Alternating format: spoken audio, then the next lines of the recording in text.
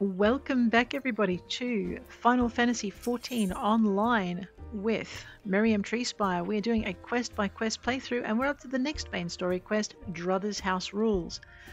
Buscarron could use an adventurer to douse a fight brewing at his establishment. No word on the Sylph Elder yet, but I'm sure it's only a matter of time. In the meantime, how about doing a favour for old Buscarron in return? Right then, let's put you to work. There's a customer outside who's spoiling for a fight, and I need you to cool him off for me. No need to go cracking any skulls though, just take this tub of cold water and douse the drunkard. Tends to do the trick.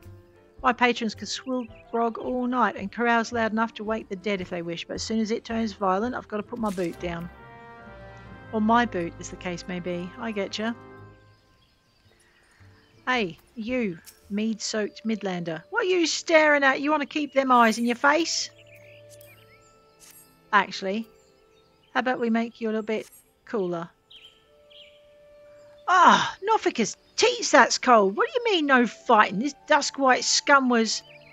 Yeah, yeah, I know the rules. That bastard gets to keep his skin for now. You right, mate? Man, I don't know what you said to set him off. Buscarron, deed is done.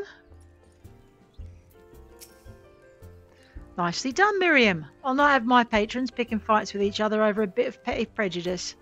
In case you didn't see, that bloke who caught the brunt of that outburst is a Duskwhite Elezen. There are people who shun the cities to live in the wilds, making them no better than brigands in the eyes of many.